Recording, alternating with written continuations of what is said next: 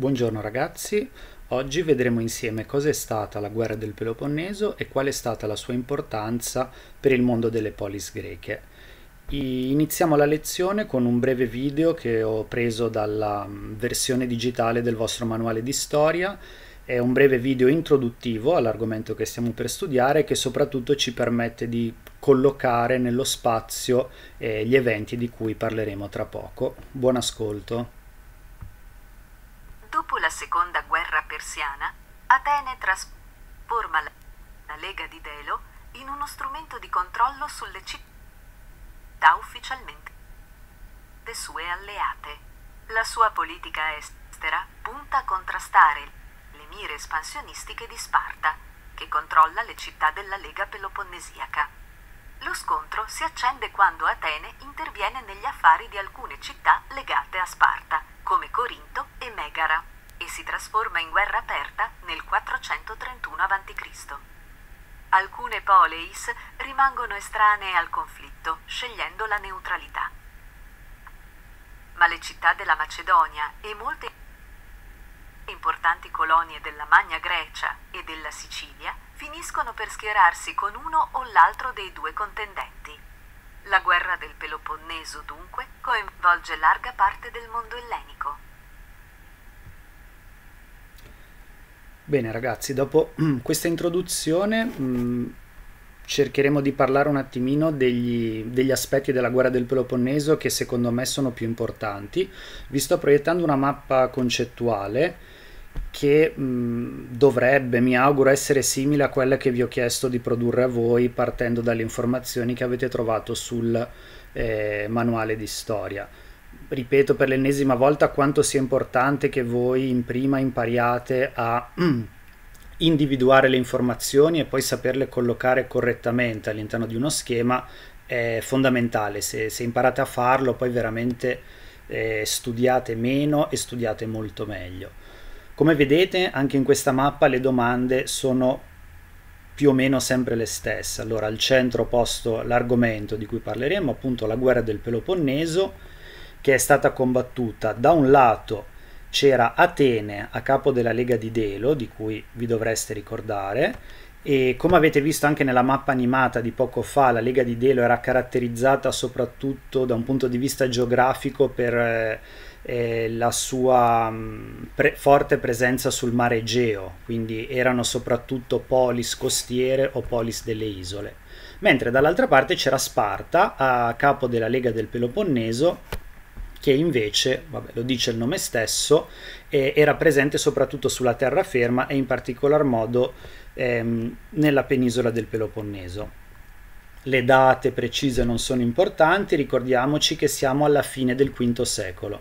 Se vi ricordate il V secolo, quando abbiamo parlato di Atene e in particolar modo del periodo di Pericle, è definito anche il secolo d'oro o l'età d'oro del mondo greco, no? per l'architettura, per la cultura, le scienze, il teatro, tante cose. Ecco, questo periodo d'oro si conclude nel modo più disastroso e catastrofico possibile, non solo per Atene, come vedremo, ma per tutto il mondo greco.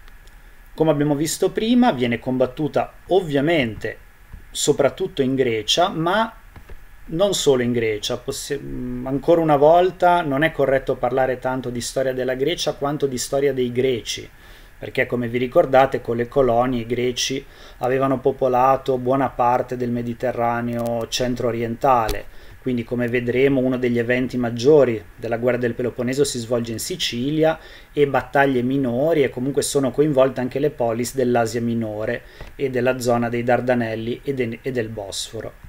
Come sempre ci dobbiamo interrogare sul perché scoppia la guerra del Peloponneso, quali sono le cause. Allora, da un lato abbiamo Atene, che se vi ricordate aveva trasformato la Lega di Delo in uno strumento per la sua espansione, espansione politica, militare, ma soprattutto espansione commerciale. Atene controllava tutte queste città che facevano parte della Lega di Delo, imponeva dei governi favorevoli ad Atene che lasciassero libero accesso alle navi e ai mercanti ateniesi.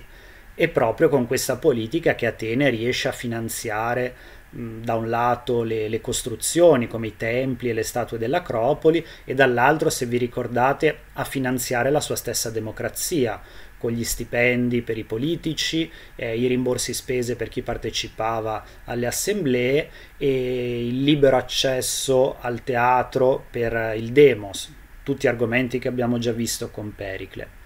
D'altro lato c'è Sparta che se, se, capisce di non poter rivaleggiare con Atene per quel che riguarda eh, il controllo dei mari e delle vie commerciali, forte del suo esercito, della sua falange oplitica fino a questo momento imbattuta sulla terraferma, vuole espandere sempre di più il suo dominio sulla Grecia continentale.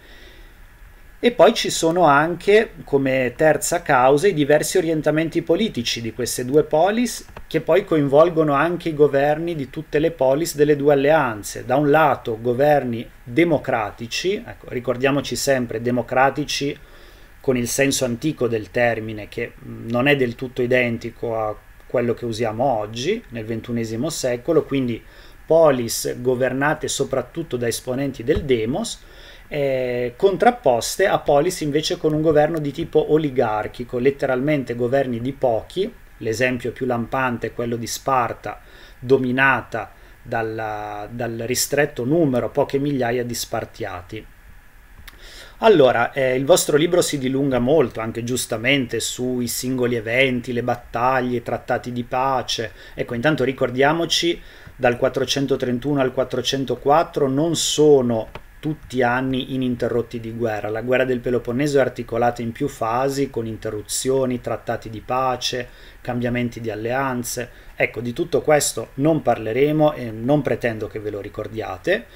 In estrema sintesi, inizialmente la guerra va come tutti si aspettavano che sarebbe andata.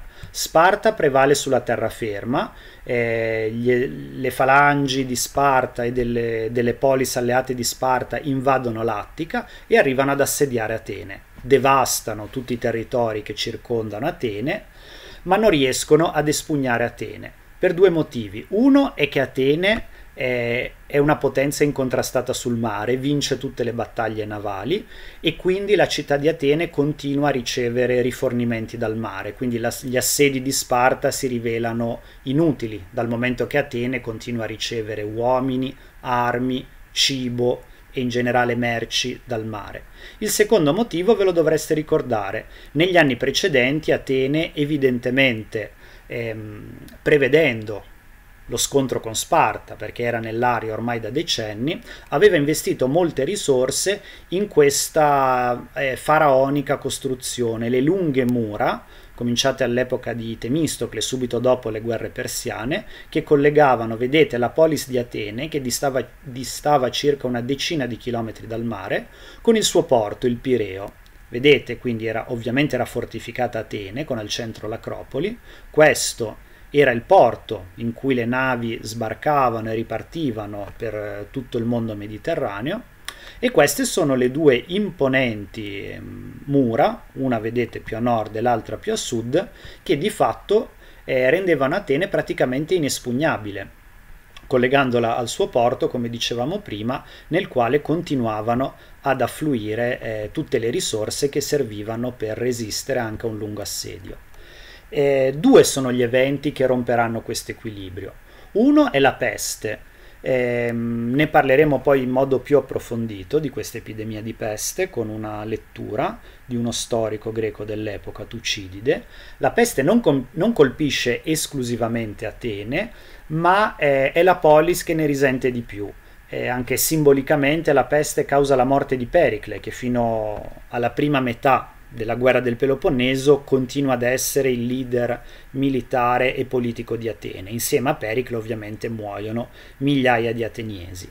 Eh, il secondo motivo della sconfitta finale di Atene è che Atene a un certo punto ehm, cerca di sfruttare la sua superiorità navale eh, imbastendo una enorme spedizione navale che coinvolge centinaia di navi e decine di migliaia di soldati per andare a colpire una, uno degli alleati più forti di Sparta che non si trovava in Grecia, si trattava invece di Siracusa che ovviamente è in Sicilia.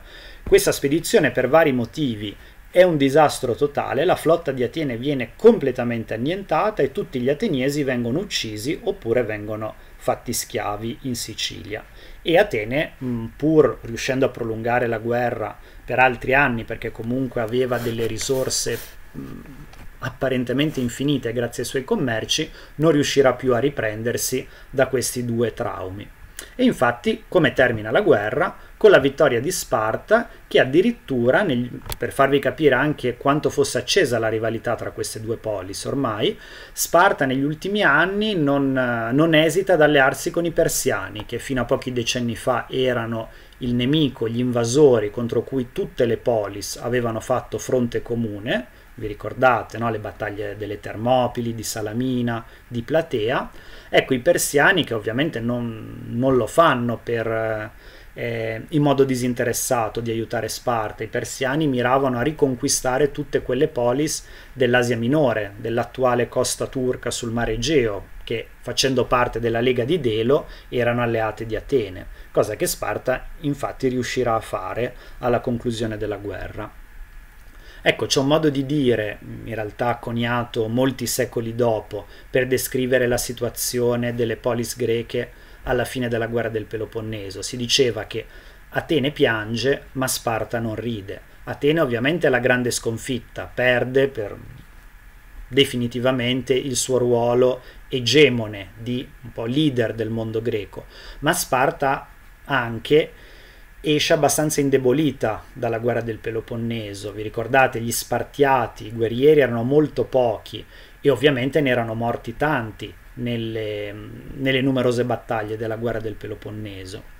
Quindi le due conseguenze, parliamo innanzitutto di una conseguenza immediata, è che Sparta per all'incirca un trentennio diventa la polis più importante del, di tutta la Grecia eh, Sparta fa quello che faceva prima Atene all'interno della Lega di Delo, ovvero sia in, in tutte le città impone dei governi oligarchici, dei governi favorevoli a Sparta, che portano avanti quindi delle politiche eh, filospartane.